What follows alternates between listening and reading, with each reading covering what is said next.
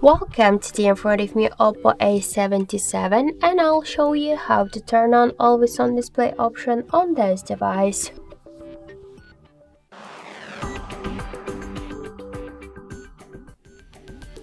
So unfortunately we have now installed by default the AID option, that's why we should get the Muviz Edge application from the Play Store. And to do that we should first open the Play Store app and in the bar we should enter the Muviz Edge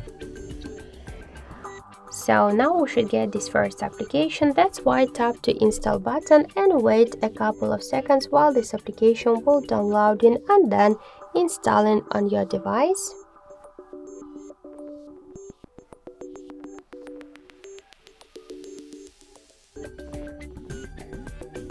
Then just tap to open the application, click to draw our apps